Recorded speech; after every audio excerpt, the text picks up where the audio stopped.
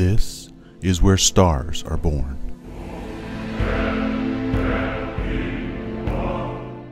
Here, in this cosmic cauldron, in the constellation of Cygnus the Swan, some 2,000 light years away, massive stars are beginning their lives.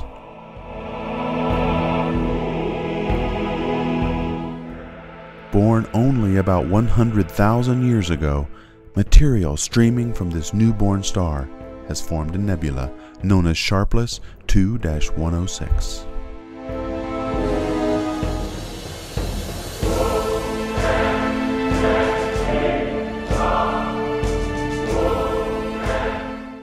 Through the crush of gravity, the atoms in this exquisite nebula are right now coalescing to release one of the most powerful forces of nature stellar fusion.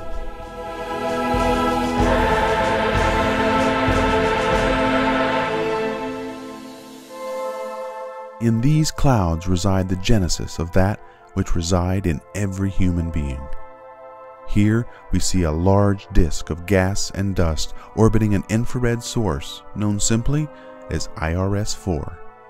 Its light ionizing the surrounding gas in a wondrous emission nebula spanning some two light years. It is through the lives of the stars born in this nursery and others like it throughout the universe that we become possible.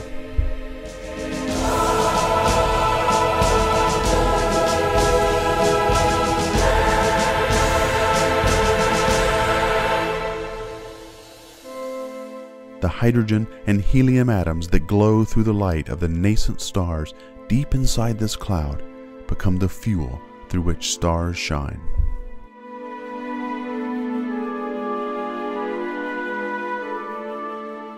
As these stars burn, they create all the elements needed for us to exist. Carbon, nitrogen, oxygen, iron, and a host of others are produced only in the fusion reactions of stars. They are available to us nowhere else.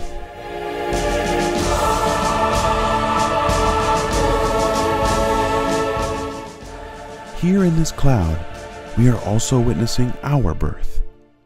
The stars are our ancestors, and we are their progeny.